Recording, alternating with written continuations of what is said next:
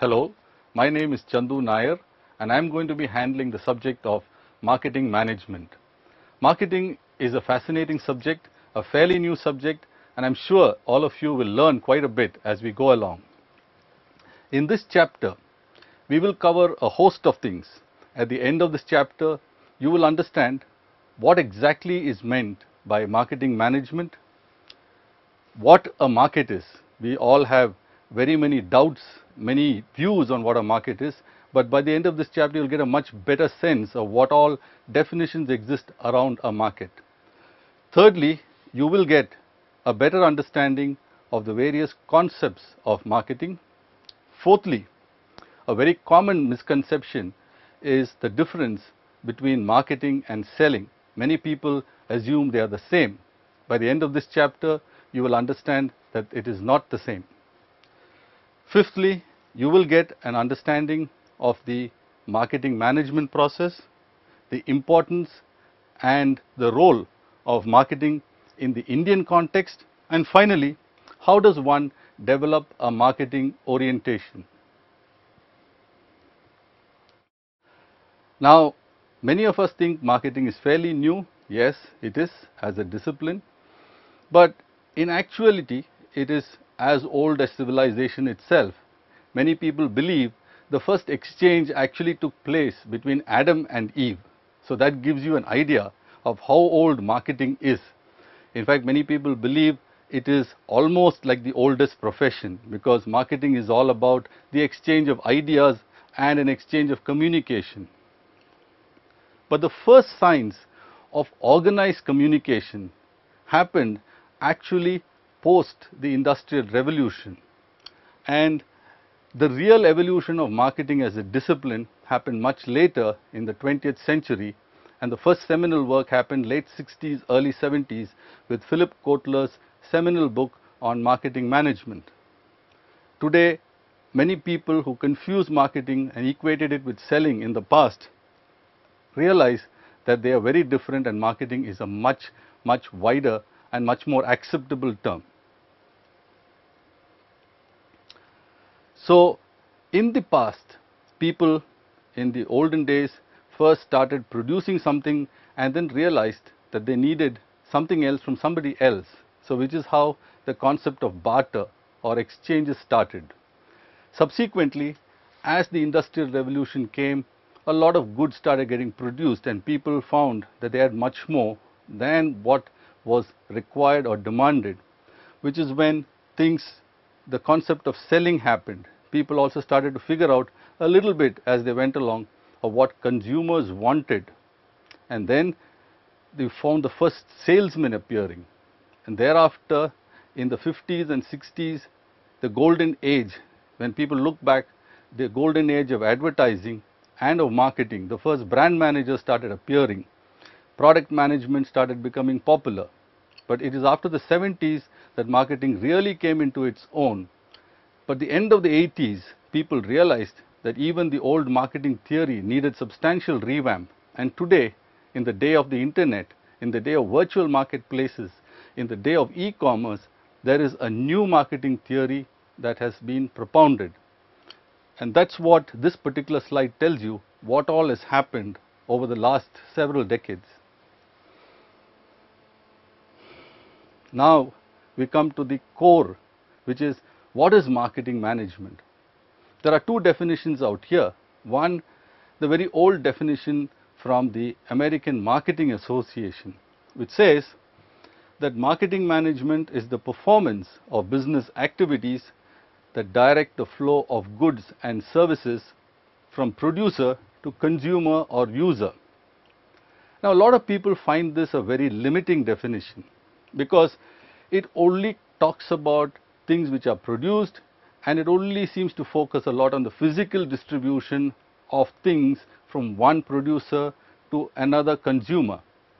So, a lot of people prefer the second definition which is a much wider definition the one propounded by Philip Kotler where he said it is societal process by which individuals and groups obtain what they need and want through creating, offering and freely exchanging products and services of value to each other. marketing is an ongoing process of discovering and translating consumer needs and desires in, into products and services, creating demand for these products and services, serving the consumers and his demand through a network of marketing channels and expanding the market to base in the face of competition. You, as you can make out, this definition covers a whole host of activities, covers a whole host of intermediaries and players and covers a whole gamut of aspects, emotions, feelings, wants, desires, fulfillment and so on.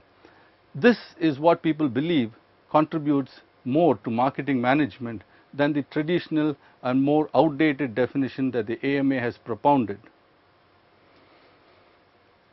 So, the next big question for many of us in India, a market typically means a physical place where people meet and exchange uh, goods or products or services. Well, that was in the past, but today a marketplace can be virtual. eBay, for example, is a very good, good uh, marketplace which barely exists on the ground. It exists virtually. There are several such marketplaces which do not exist at all in the physical world, but seem to have a very tremendous presence in today's time and age.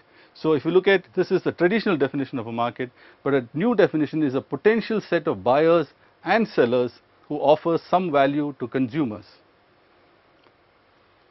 So, this brings us to a very important aspect. What marketing concepts underlie this definitions of a market and this definition of marketing management. Now, a lot of people really do not understand that they have different assumptions and this set of concepts that are going to be placed in the next slide will give you an idea of the different assumptions that people operate from.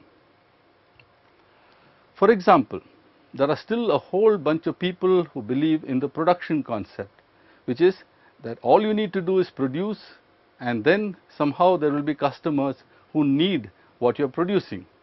And the focus therefore is on producing more and more with the assumption that the more I produce, the more profitable my business will be. The second one is the product concept and this is based on the old uh, saying that if you build a better mousetrap, the world will beat the path to your door.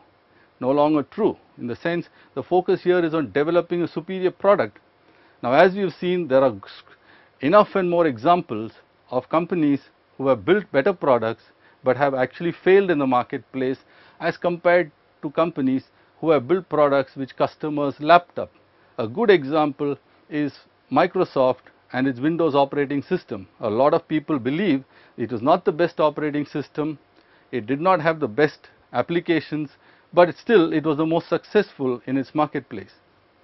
The third is selling, the selling concept people believe in this concept that a lot of customers won't really buy on their own accord and they somehow need to be persuaded to buy. This is very common among those with a very trading and transactional mentality. The fourth concept which is what is more and more getting accepted is the marketing concept which is that your success as a company lies in your ability to distinguish yourself from your competitor by offering a better value proposition to your customers. So, here the concept is comparing yourself with what the competition is offering and doing a better job of it.